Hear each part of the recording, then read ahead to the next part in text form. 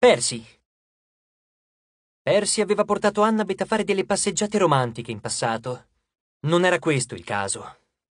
Stavano seguendo il corso del fiume Flegetonte, inciampando sul terreno nero e vetroso, saltando crepacci e nascondendosi dietro le rocce ogni volta che le vampire rallentavano. Era difficile mantenere la giusta distanza, né troppo vicini per non farsi beccare, né troppo lontani per non perdere di vista Kelly e le sue compagne nel buio della foschia. Il calore del fiume bruciava la pelle. Ogni respiro era come inalare una boccata di fibra di vetro allo zolfo. Quando avevano sete, il massimo a cui potevano aspirare era un sorso di fuoco liquido. Eh già, Percy sì che sapeva come far divertire una ragazza. Se non altro, Annabeth non zoppicava quasi più. La caviglia sembrava guarita Tagli graffi erano scomparsi. Si era legata i lunghi capelli biondi con una strisciolina di jeans strappata dai pantaloni. Nella luce infuocata del fiume, i suoi occhi grigi scintillavano. Era distrutta, coperta di fuliggine e vestita come un senza tetto, ma Percy la trovava bellissima lo stesso. Certo, erano nel Tartaro. Avevano scarsissime probabilità di sopravvivere. E allora il figlio di Poseidone era così felice che fossero insieme, da provare l'impulso assurdo di sorridere. Persino fisicamente si sentiva meglio, anche se a giudicare dai vestiti sembrava reduce da un uragano di vetri rotti. Aveva sete, fame ed era terrorizzato oltre ogni limite, anche se non l'avrebbe mai confessato ad Annabeth. Ma si era scrollato di dosso, la disperazione del fiume cocito. E sebbene l'acqua di fuoco fosse disgustosa, almeno sembrava tenerlo in piedi. Era impossibile avere la cognizione del tempo. Continuavano ad arrancare lungo il corso del fiume che si insinuava nel paesaggio brullo. Per fortuna le impuse non erano affatto veloci. Procedevano sulle zampe male assortite, di bronzo e di asino, sibilando e litigando fra loro, senza nessuna fretta di raggiungere le porte della morte.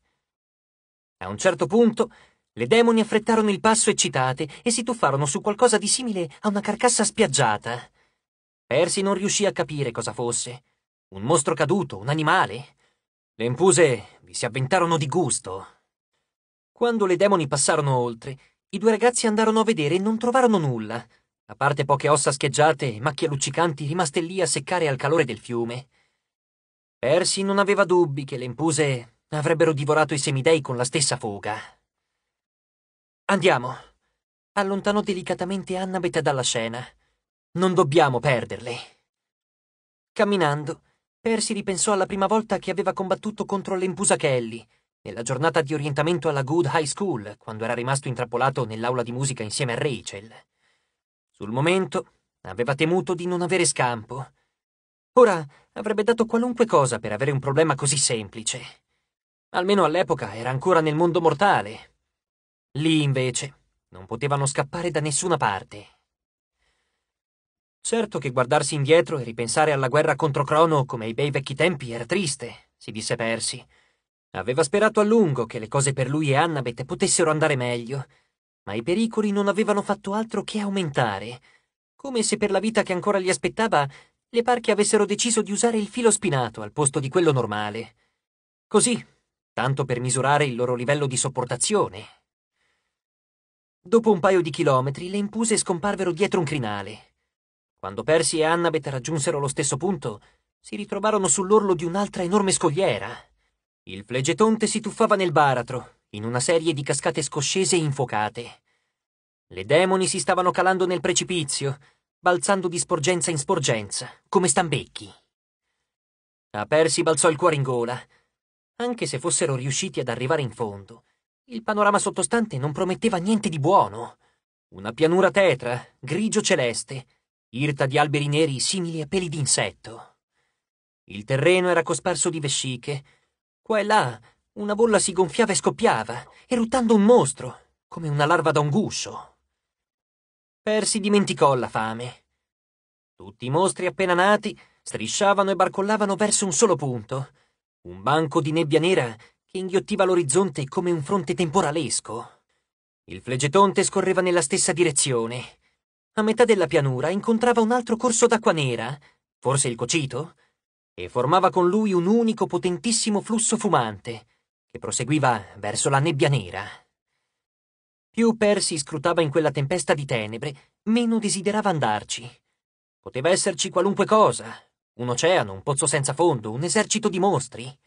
Ma se le porte della morte erano in quella direzione, era la loro unica possibilità di tornare a casa. Sbirciarono oltre l'orlo del precipizio. Quanto vorrei che sapessimo volare, borbottò Percy. Annabeth si strofinò le braccia. Ti ricordi le scarpe alate di Luke? Chissà se sono ancora qui da qualche parte.